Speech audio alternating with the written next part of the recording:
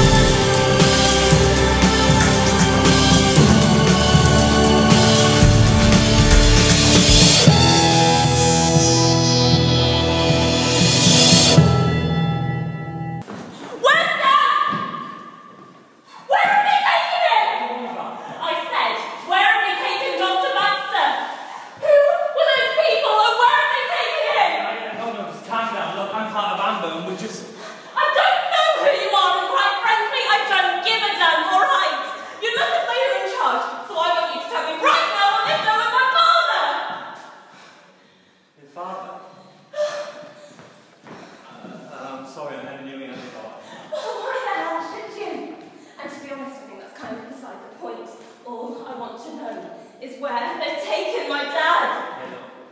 Sorry. One step, please. Okay? Just keep never you, alright? yeah, well, I'm not really surprised. We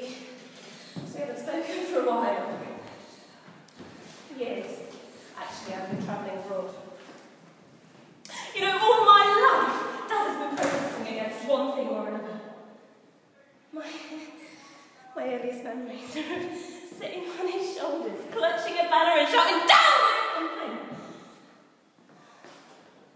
I used to think it was some sort of game. You sound. That's always have plenty of time for the people's problems, but closer to home, it's a different matter. Yeah, you sound bitter. Yeah, and I don't want your sympathy or your understanding. He's always done what he wants, and I've got used to it. Of course. I'm sorry, look. You know, even during Mum's illness, all that he could do was launch a media campaign against the pharmaceutical companies. It took up all of his time. Time that he could have spent with Mum when she needed him.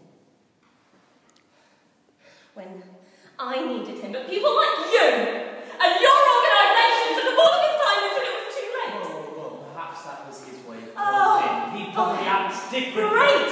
Good for him! But after Mum died, I assure you I made a choice as well. Alright. Okay, but if that's how you feel, why are you here? Like I said, I haven't heard from Dad for years, and then all of a sudden, out of the blue, I received this cryptic message from him on my travelling book. It's just, it's so like him, but it's ever straightforward. Anyway, it said that he needed to see me urgently, and so I flew home as soon as I could. Look, as much as we haven't spoken, I know him. He'd have only got in touch if it was really important, and that's why I'm here. Okay. Okay, so you do care.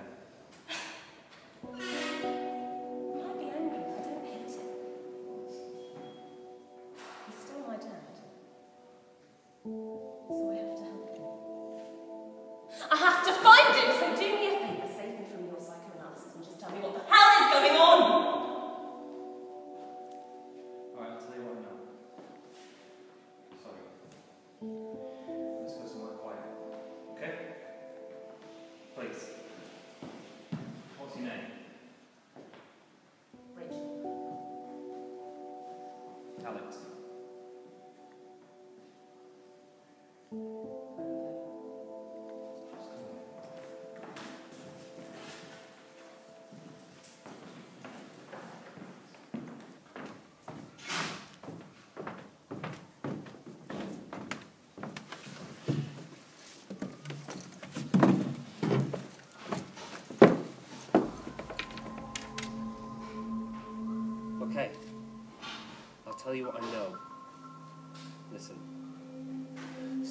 Has been working with me.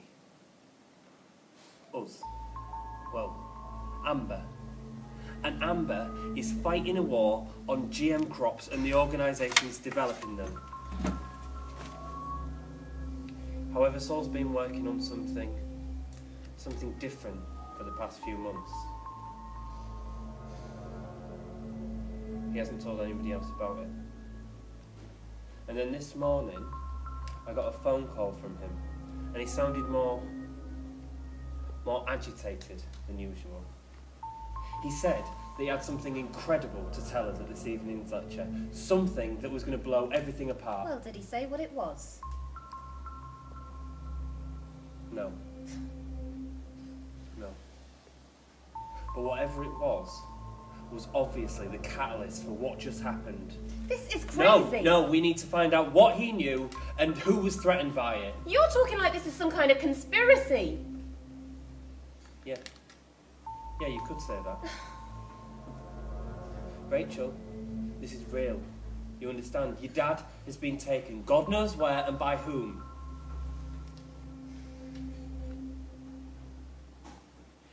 We need to work together if we're going to find him.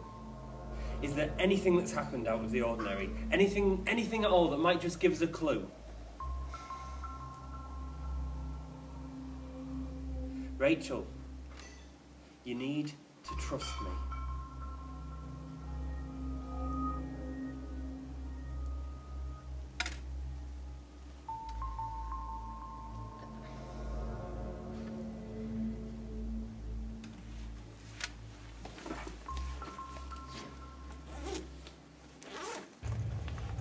This was waiting for me when I got home.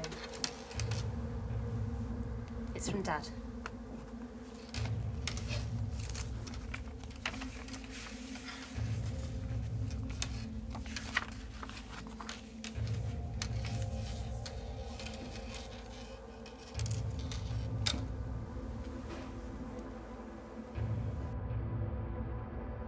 What's this for?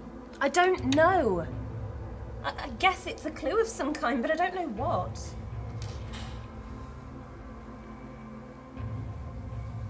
That's one of my photographs. Dad must have got it off my blog. Where did you take it? I'm in Geneva a couple of months ago. I don't know why Dad had have it. I didn't even know that he knew what I was doing. But look, that's definitely Dad's handwriting.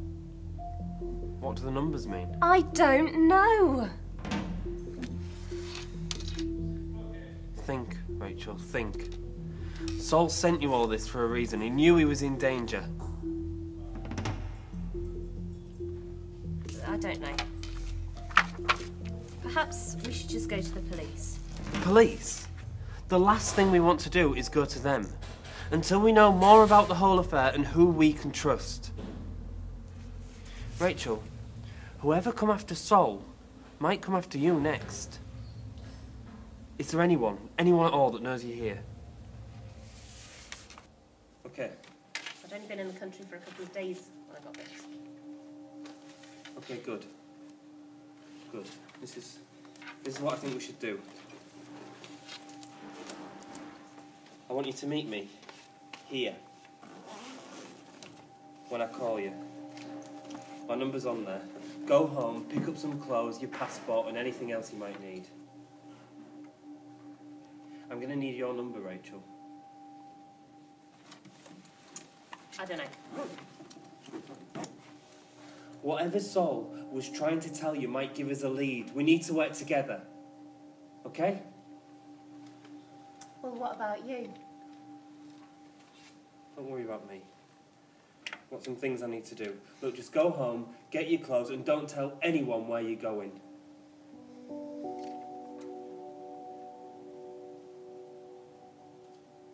Please.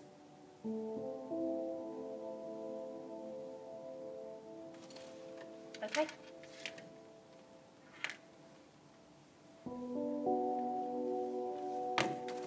Thank you. And Rachel, don't worry.